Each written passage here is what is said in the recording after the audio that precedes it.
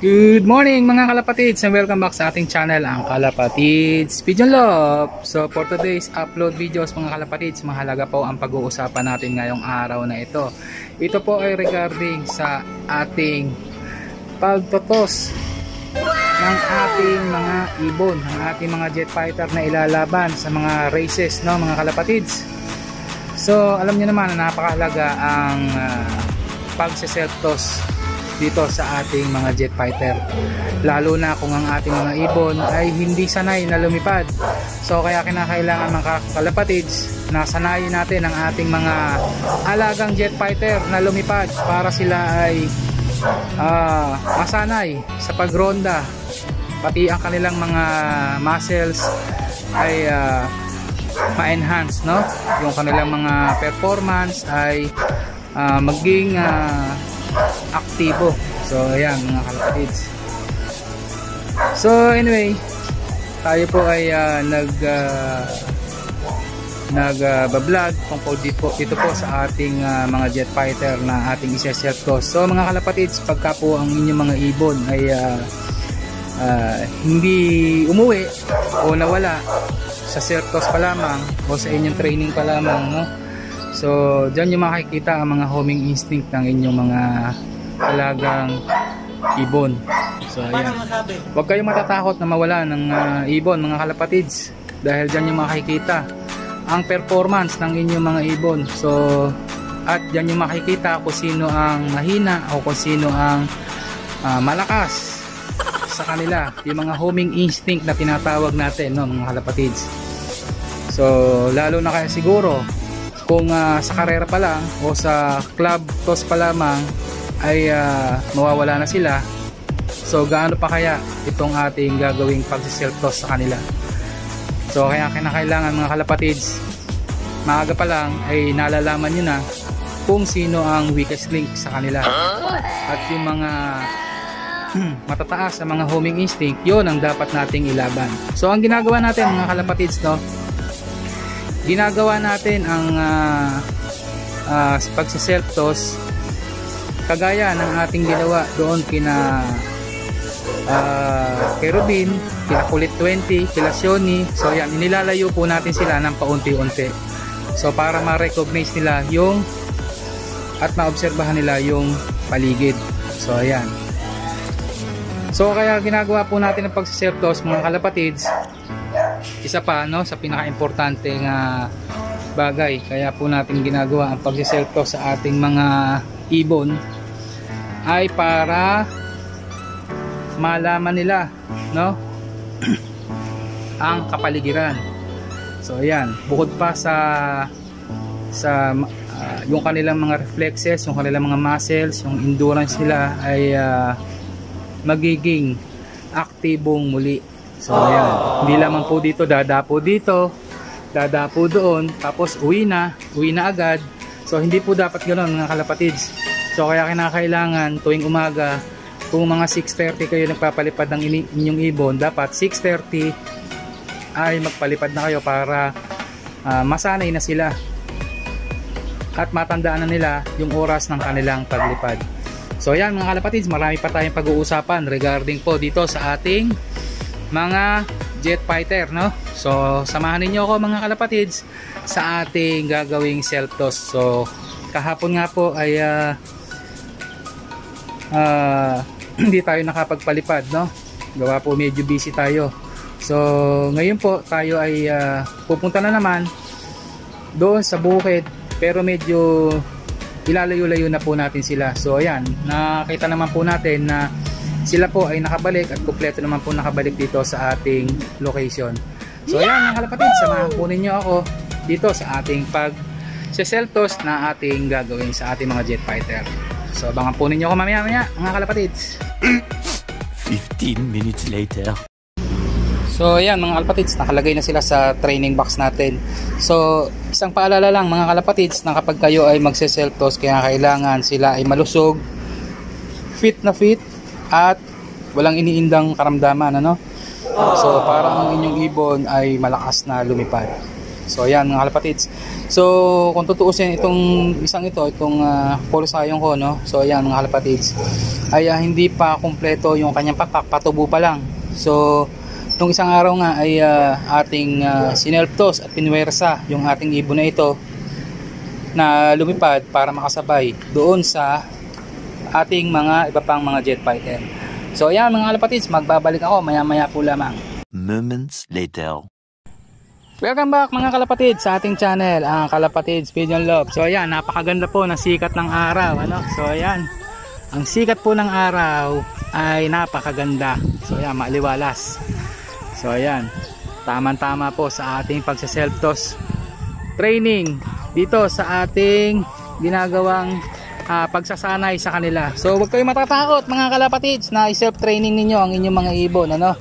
So kung mawala man sila talagang ganon, ibig sabihin ay mahina ang kanila mga homing instinct at yung malalakas lamang ang ating ilalaban sa karera. So ayan mga kalapatids, lalong lalo na po.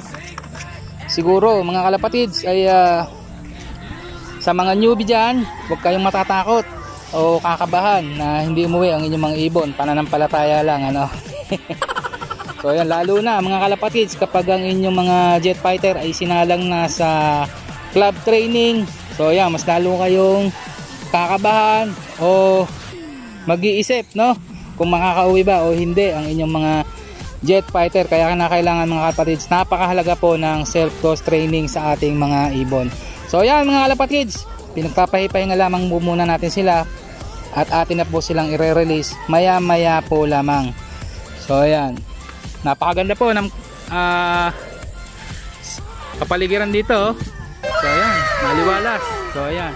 Andito po tayo sa bukid. Dito po sa may malapit lamang sa amin. So mga ilang uh, kilometro lamang po ito siguro. Mga sinimulan ko po kasi mga kalapatids doon po sa aming sa aming uh, kanto no? Malapit lamang po sa amin. Papalayo po ng papalayo. Ganyan po ang gagawin ninyo mga kalapatids. Mag umpisa po muna kayo sa harap ng inyong bahay. Pala, habang uh, hanggang papalayo po ng papalayo ang inyong gagawing pagsasanay sa kanila. So ayan mga kalapatids. So tayo po ay uh, magpapaalpas na ng ating mga ibon at sana ay makauwi sila ng ligtas sa ating location. So yan mga kapatids mamaya ay mag-uusapan pag-uusapan pa rin po natin ang ating kino-content ngayong araw na ito regarding po sa uh, self-toss training ng ating mga alagang ibon at gaano nga ba ito kahalaga sa ating mga uh, ginagawang pagsasanay sa ating mga jet fighter. So ayan, dyan lamang po kayo mga kalapatids. So ayan mga kalapatids, i-release na po natin ang ating mga jet fighter. So pinagpahinga po lamang muna natin sila ng tatlong minuto. So ayan mga kalapatids, tayo po ay magsisimula ng magpakawala ng ating mga ibon. So ayan mga kalapatids, ready na ba kayo? Atin na silang pangakawalan at nagwawala na ang mga ito. So ayan. Bas. Ayan na. Babayu. So yun, may naiwan pa isa. Pad na. So yun. Dumaretso na. Yun, rumoronda pa. So yun pa sila. Yung pa isa. Iwan. So yun sila.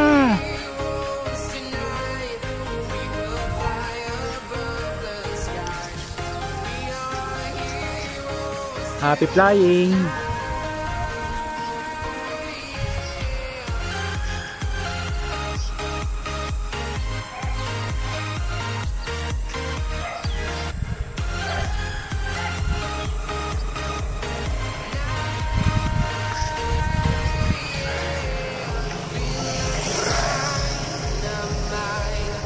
Much, much, much later.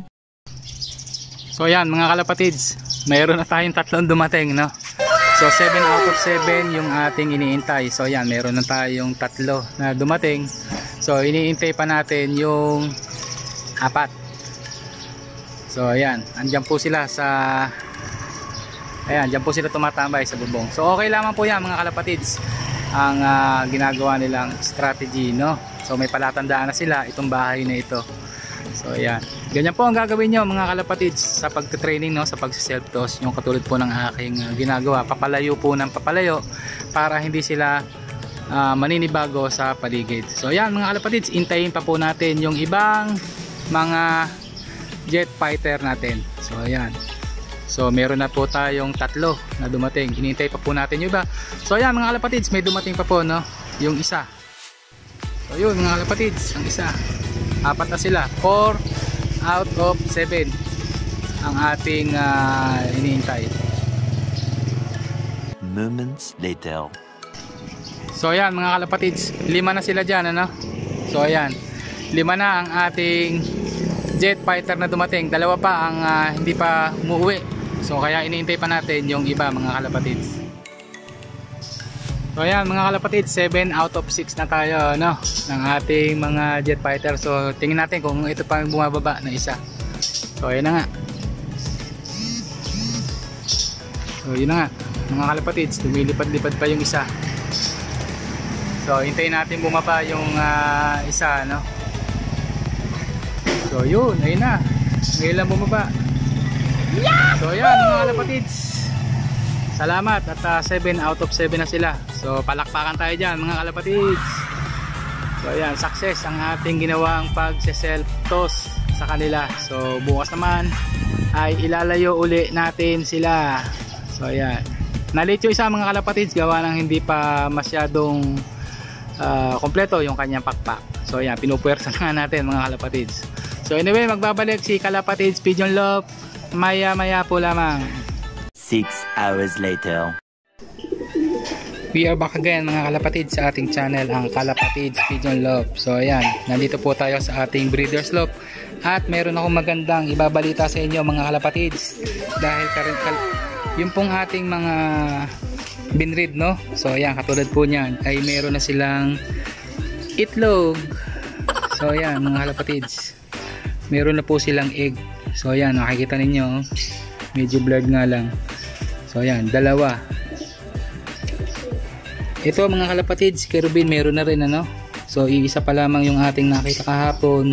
So mag-iintay-intay pa tayo mga kalapatids ng ah, yung kap yung isang ah, egg uli ni kay Rubin. So ayan. So ayan mga kalapatids, meron pa tayong binibreed no. So ayan, isang pares. Tapos si Huben, naka- naka-recover na. Pati din po itong isa ano. So ayan, mga naka-recover na po yung mga yan. So yung iba pong mga weakest link ay natodas na mga kalapatids. Hindi po nakayanan yung kanilang sakit. So ito lamang pong dalawa ang naka-recover. So ayan. So talaga mabagsik po ang ah, adeno mga kalapatids. So kaya ingatan po ninyo ang inyong mga ibon. So always clean your loft. So ayan. Panatilihin po nating malinis ang ating kulungan. So ayan. Ito pa po mga kalapatids no. Yung pong ating ah, iba pang mga breeder dito ay meron na rin po. Ito mga kalapatids ang ating muleman no. Na galing po ng Bio Research Bio Pigeons. Ay ah, meron na rin pong itlog. Gawin na rin po itong ating African Black. So ayan. So ayan, meron na rin po siyang ah, itlog. Dalawa. So ito pong ah, African Black at ito pong ating Muleman ay galing po sa ating butihing ah, Bio Research Bio Pigeons no? So ayan. So kung makikita ninyo mga kalapatids, ito po ang ating African Black Eagle na extreme long distance speed. So ayan. At hahanapin naman po natin ang Muleman. No? So ayan, ayun po yung Muleman natin. So ayan. Muleman. So pang all distance po siya mga kalapatids. So ayan. Nakalagay po siya sa pang all distance. So ayan. Yung pong ah, iba dyan mga kalapatids na inyong pagpipilian. So ayan no. Mamimili kayo dyan kung ano ang gusto nyong ah, bilhin o kuhaning foundation bird sa Bio Research Bio Pigeons. So ayan. Kontakin nyo lamang po si Ma'am Beth. So ayan. Ng Bio Pure Line Pigeons, Bio Imported Pigeons. So ayan, kontakin nyo rin po si Mr. Allen Lee, no? So ayan, medyo natakpan nga lamang po yung ating contact number ni Mr. Allen Lee. So ayan. So dito lamang po kayo pupunta mga kalapatids kung gusto nyo ng Pure Line Bio Pigeons. So ayan, sa Bio Research. So ayan mga kalapatids, ito po ang ah, bigay sa atin na tarpaulin ng ating butihing mga foreign ninoms. So, ayan, mamimili kayo dyan mga kalapatids. So ang dami.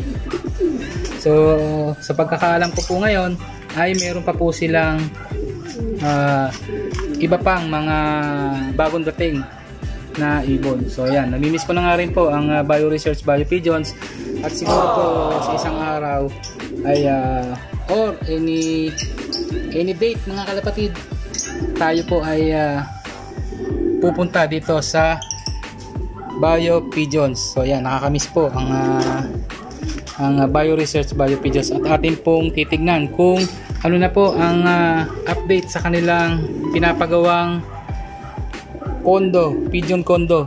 So ayan. So tayo po ay mamamasyal uli sa Bio Research Bio Pigeons. So ngayon nga po ay may pagkakataon na tayo dahil nag level 3 na nga po ang ating ah, ah, level 3 na po tayo ngayon sa Metro Manila. So yan, medyo maluwag-luwag na po at tayo ay makakapasyal na dito po sa Bio Research Bio Pigeons. So ayan mga kalapatids. Ayan. Ito po ang ating ah, tarpaulin. Nabigay po ng ating butihing Bio Research Bio Pigeons. So ayan. So sana makapunta ulit tayo. So siguro po eh, sa isang araw yayakagin ko po ulit yung aking kaibigan at tayo po ay magbibisikleta na lamang papunta doon ano. So ayan para maka-exercise exercise naman tayo.